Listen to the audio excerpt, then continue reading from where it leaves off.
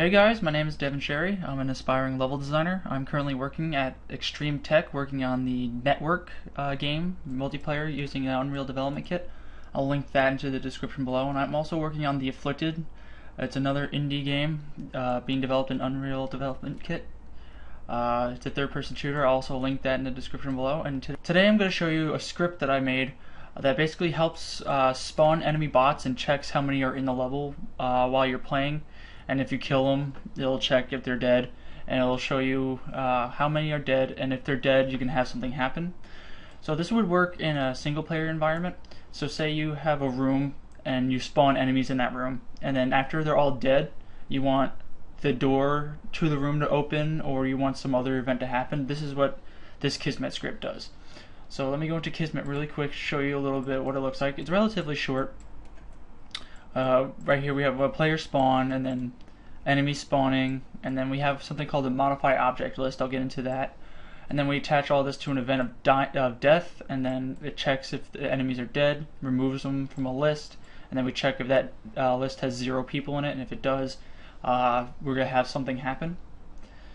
So the thing we're gonna have happen in this case is just we're gonna unhide this giant cube now this is just for simplicity reasons. You can have other things happen. You can have a door open. You can have a cutscene play. You can have a lot of things happen. But for the sake of keeping things simple, that's what happens when you kill all the enemies in the level. So let me jump in. Let me jump in there and we'll see what it does.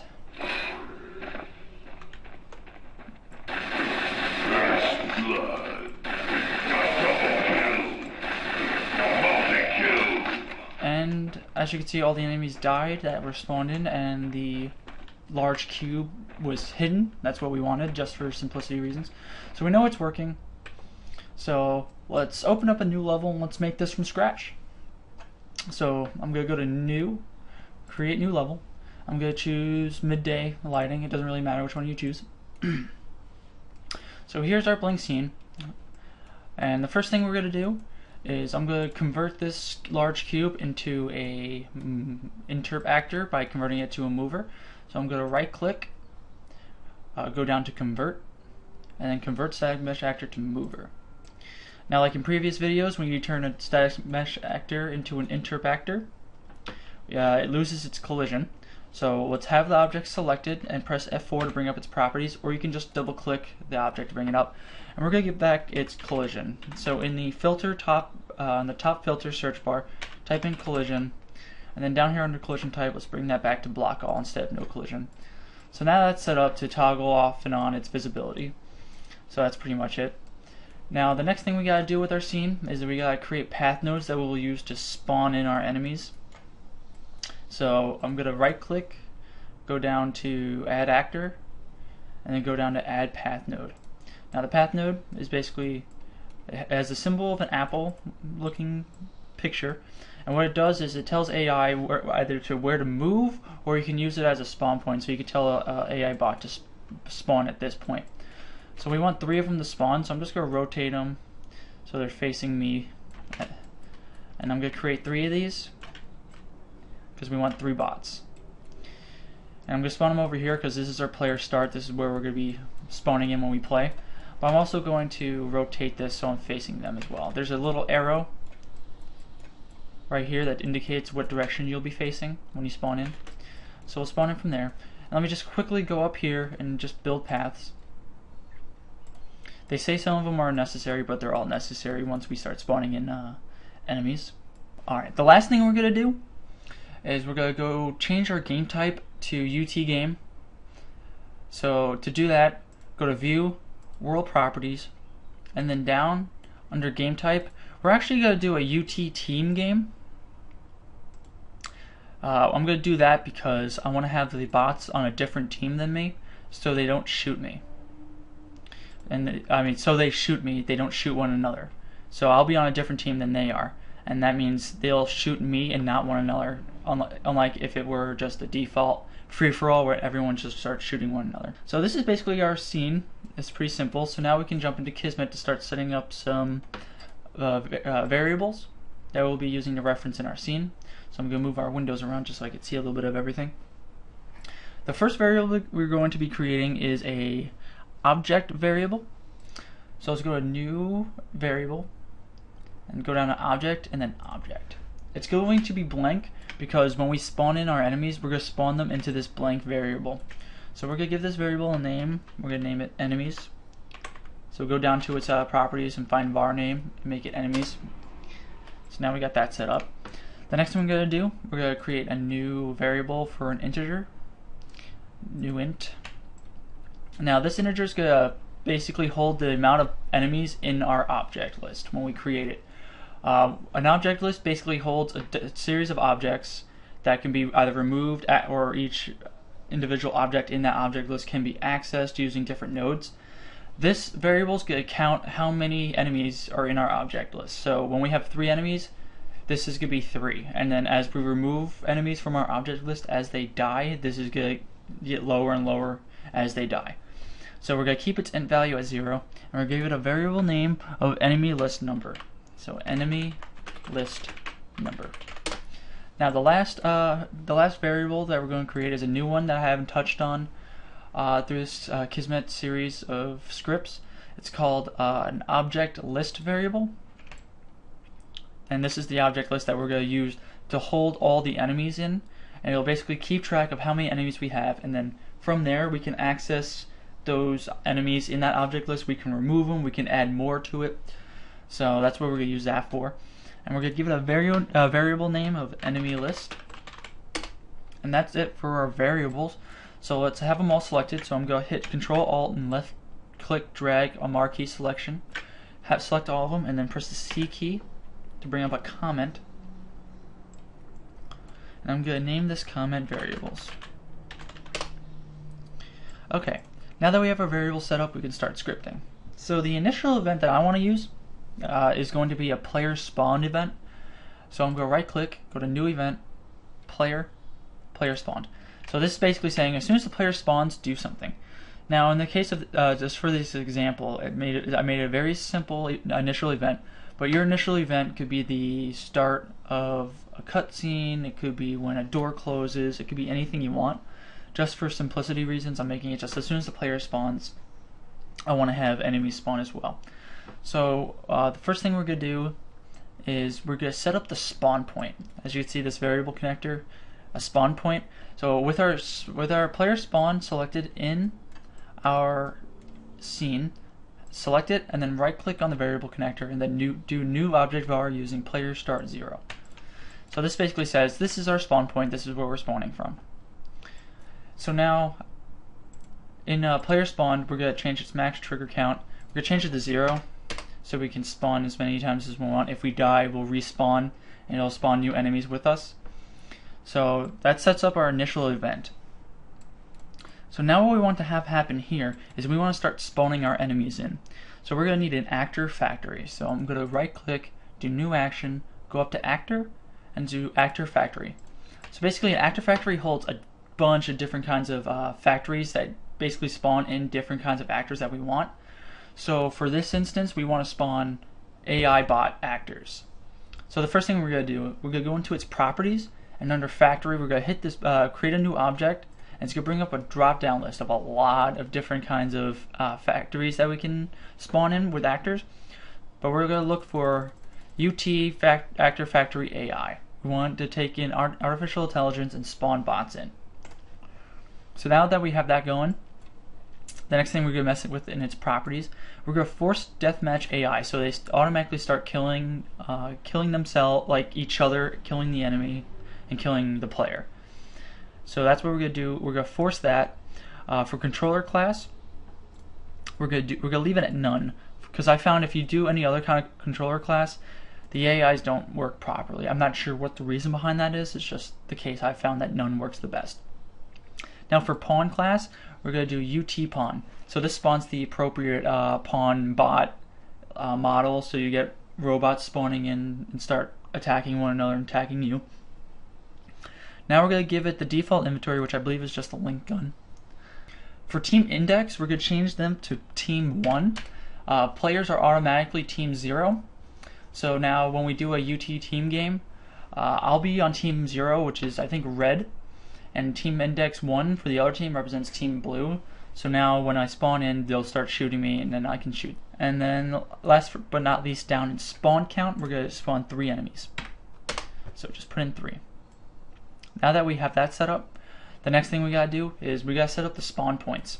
Uh, so basically it's like which points in your level do you want these enemies to spawn in? And that's what these three path nodes are for. So select all three of them to select multiple objects, hit control, left click on a new object just to keep grabbing them. So now with all of them selected, I'm going to right click on the spawn point variable connector and then do new object var's using path node underscore zero and then all of them. So you'll have all three of them set up. So now we're saying, okay, when we spawn our bots, spawn them at these three locations. Okay, next we're going to do the spawned variable connector. And for that we're going to do a name variable and we're going to reference the blank object variable named enemies. So we're going to create a new named variable, so right click, go to new variable, and do new named variable.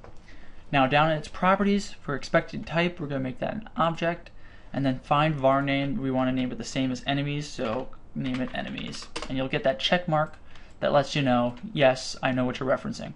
So plug that into spawned. Now that we have that set up, let's plug in the out output of player spawned into the spawn actor input of Actor Factory. So basically now, if we play, as soon as we spawn, enemies should appear on the screen and start shooting one another and shooting the player. So let me jump in. You are on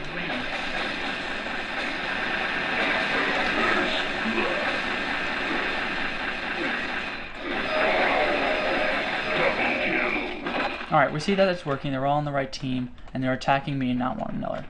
So let's back out. And now the next thing we're going to do is we're going to modify our object list. And this requires a node called modify object list. So let's get that. So let's right click, do new action, go down to object list, and let's go to modify object list. Now, with modifying an object list, you're able to add new objects to, to a list, you're able to remove objects from a list, and you're allowed to just empty the list completely. So the first thing I'm going to do, I'm just going to plug in the finished output into the uh, add to list input of the modify object list. Now for our object reference, we're going to plug in the enemy's named variable that we used in before. So plug that in. So basically this is saying this is the objects I want to reference for to, to add into our object list variable. So now we're going to create a new name variable to represent our enemy list object variable, object list variable. So I'm going to right click, go to new variable, name variable, and then in its properties, go find object list for its expected type and then name it enemy list. And then if it gets a check mark, it knows what you're representing. So plug that into the object list var variable connector, and now we have that set up. So basically we're adding the enemies from this object to this object list as soon as they're spawned. Now the last thing I'm going to do, I'm going to create another named variable, but this time this one's going to represent the number of entries in our list. So go to new variable, name variable, then under expected type, find integer, and then the variable name is enemy list number. So type enemy list number under find var name. It recognizes it, so just plug that in. So now what this does is as soon as act, uh, enemies are spawned, those enemies in this object variable are then placed into this object list variable and then this number changes to 3. So next we're going to need to attach an event to this sequence. We're going to need to go to new action. We're going to go to event, attach to event. And what an attach to event does is that it attaches certain uh, targets, the attachee, it attaches them to a certain event. So now they're going to be referenced when the event fires. So I'm going to plug in the out output of the modify object list into the in input of the attached to, to event. Now our attachee is going to be our enemies. So I'm going to just uh, select the, uh, the name variable for enemies, hit Control C, Control V to create a duplicate of it, and then I'm going to attach that to the attachee uh, variable connector. Now for our event, the event we were going to attach is the death event. So basically, when an enemy dies, uh, we're going to fire off a new set of actions to represent uh, them dying. So right click, go to new event, go to pawn death. Now that we have our, that into the scene, we can plug the event variable connector to the death. So just drag that on it connects. Now with the death uh, event selected, go to max trigger count, just set that to zero so it can fire infinitely.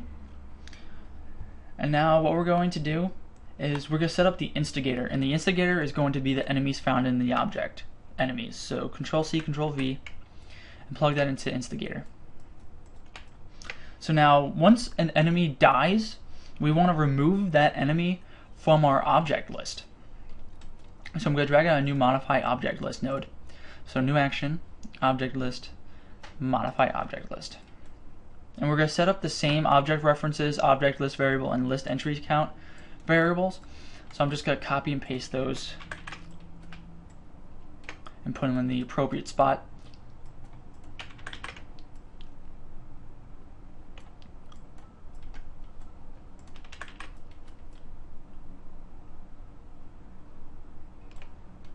Okay, now that we have that set up, uh, when we get a death, we're going to do the out output of death into remove from list. So basically, once one enemy dies, that enemy is then removed from our object list. And so if I had three enemies in the object list, this integer variable will be three. But once I kill one, that this number will go from 3 to 2. It'll increment downwards because I killed one enemy. And it'll continue to do that as I kill my enemies. So when I reach when I have killed all three enemies, this number will be 0. And when that number is 0, we want another action to fire, which is going to be the toggling of the visibility of the large cube in our scene. So in order to tell if this number is at 0, we're going to have to compare that number with the number 0 using a compare, compare integer uh, condition. So I'm going to right click, go to new condition, comparison, compare int. So I'm going to plug the out output of the new modify object list into the in input of the compare int condition. And I'm also going to create a new variable for the uh, b comparison of this compare int. So I'm going to go new variable, int, int. And we want to compare it to 0, so we're going to leave this at default. And then a, we're going to plug into the enemy list number.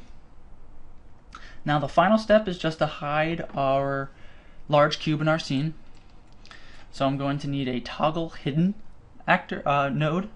So I'm going to right click, do new action, down to toggle, toggle hidden. So now when A equals B, we want to hide this large cube in our scene. So select the large cube in our scene, then right click on target and just do new object variable using interp actor 0. So that's basically the conclusion of this sequence. Let's check if it works.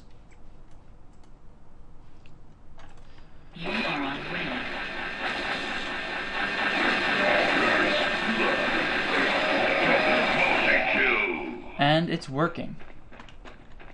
We hit the large cube after all three enemies are dead. So we know it's working. So that's it for this tutorial. I hope you learned a little bit of something. Hopefully you can use this script in your single player levels uh, for your portfolio for a game industry uh, quality game or an indie game. So please check out my portfolio linked in the description. Please share this video. Please like, subscribe to my channel for more. And also comment in the comment section below with uh, suggestions for new videos, uh, suggestions for ways that I can improve the quality of these videos, or if you have questions uh, about what it is I've done here, if I haven't if I missed something, or you're not too sure about something, you want extra explanation. And I'll also have a link in the uh, description below with a link to my portfolio, to the section of my portfolio with this tutorial in it, where you'll find a written version of this tutorial as well as the level file for this tutorial so you can download and try it out for yourself and see my work as it appears here. So thank you for listening and uh, I hope you enjoyed it.